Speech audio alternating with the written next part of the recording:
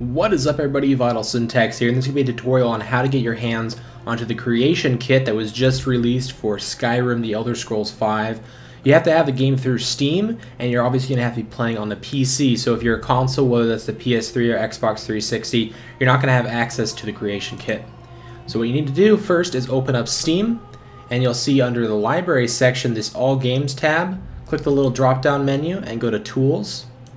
This is where you can download tons of different tools for all the different games you've purchased from dedicated servers, uh, development kits like the creation kit. So scroll down until you see creation kit. Um, it should be kind of close to the top because it starts with a C. And right click and go install game. Press next, agree. Choose your uh, selections for shortcuts. I'm just going to leave it at uh, no shortcuts and you're finished. Now it's going to start downloading and you can click on the downloading right here and it'll show you your progress. So I'll bring the video back up once it's done downloading.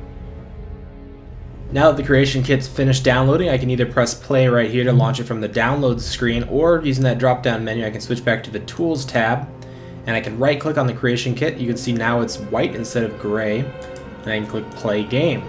That'll launch the kit and get you ready to start modding. You're going to have to actually go through a couple installation steps and wait for it to load up here. I'll close Steam down.